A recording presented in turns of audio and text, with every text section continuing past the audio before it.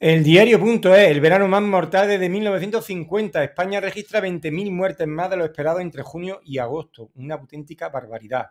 Casi 120.000 personas han fallecido en el país en uno de los veranos más calurosos de la historia, aunque los expertos no se atreven a dar una explicación definitiva a estas inusuales cifras de mortalidad. Este verano está muriendo más gente de lo esperado en España y no podemos saber por qué. Eso es lo que dicen. No sabemos por qué. Y encima dicen, no podemos saber por qué.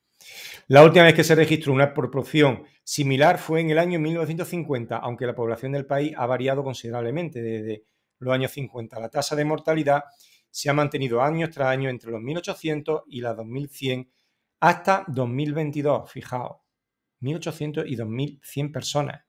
Madre de Dios. Y ahora 20.000, de entre 10.000, bueno, 10.000 personas por mes, o sea, es una escalada terrible.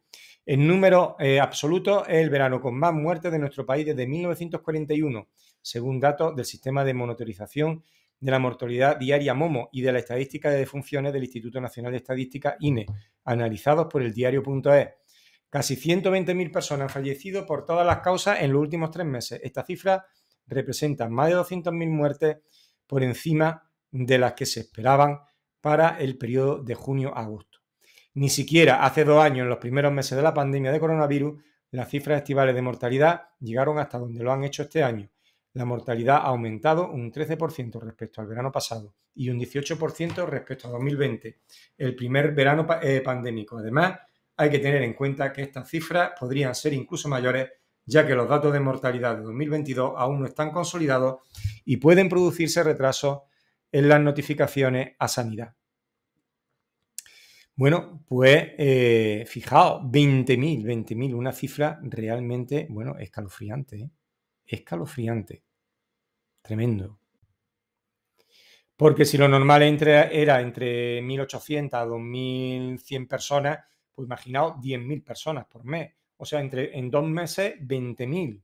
O sea, algo terrorífico. Y dicen que no se puede saber por qué. Yo pienso que sí, que se pueda saber por qué. ¿Por qué no se va a poder saber por qué? Es cuestión de investigar, nada más. Investíguese. Investíguese, pero a mí eso no me vale de no se puede saber por qué. Claro que se puede saber. Y más en un país como España, que se lleva registro de todo. Absolutamente de todo. Los hospitales, los, centros de salud, eh, la funeraria, todo está registrado en España. Todo, absolutamente todo. Entonces, que no se puede saber por qué, a mí eso no me sirve, sinceramente. Y esta es nuestra España, para esto hemos quedado, y aquí que lo seguiré contando.